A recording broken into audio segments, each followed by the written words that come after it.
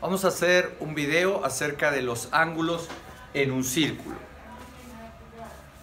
Hemos dibujado aquí un círculo y lo hemos dividido en ocho partes.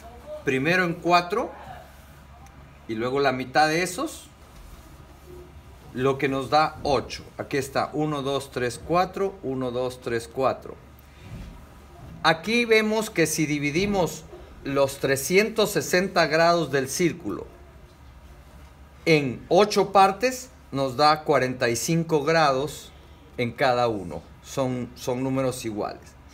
Aquí en el círculo tenemos en este cuarto de aquí, de 0 a 90. Aquí hay un right angle o ángulo recto, que es la suma de 45 más 45, que es 90.